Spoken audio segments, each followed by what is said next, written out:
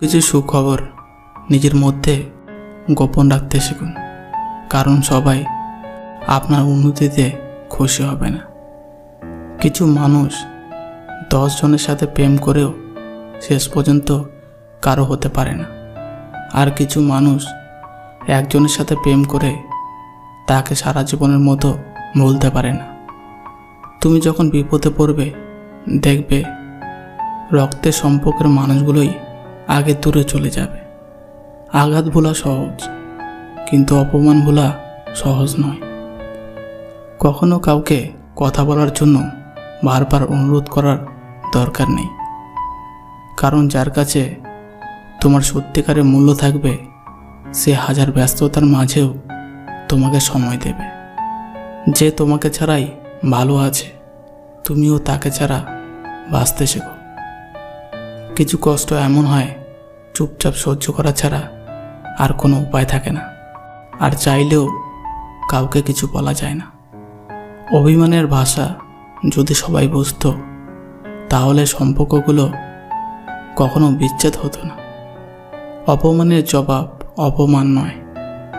এমন কিছু করে দেখাও যেন সে নিজের কাছে নিজেই ছোট হয়ে যায়। মেয়েরা অভিমান করে তাকে আরও বেশি ভালোবাসার জন্য। আর ছেলেরা অভিমান করে তাকে একটু বোঝার জন্য। জীবনে সেই মানুষটাকে ছেড়ো না, যে রাগ করার পরেও তোমার কাছে ফিরে আসে। কাউকে ভালোবাসতে না পারলে তাকে না করে দাও, কিন্তু তাকে মিথ্যা স্বপ্ন দেখেও না। বইয়ের পাতা মানুষকে যা শিক্ষা দেয়, জীবনের পাতা তার চেয়ে বেশি কিছু শিখিয়ে দেয়। কিছু কষ্ট এমন হয়, খুলে বলার মতো নয়।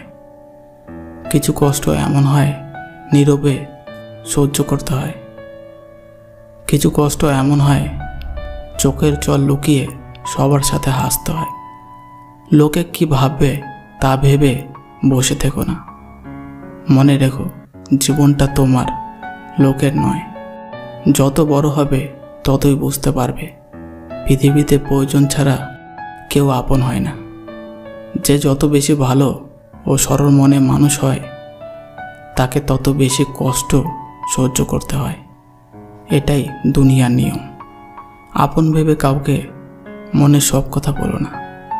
কারণ একটা সময় আসবে যখন সে তোমাকে তোমারই কথা দিয়ে আঘাত করবে।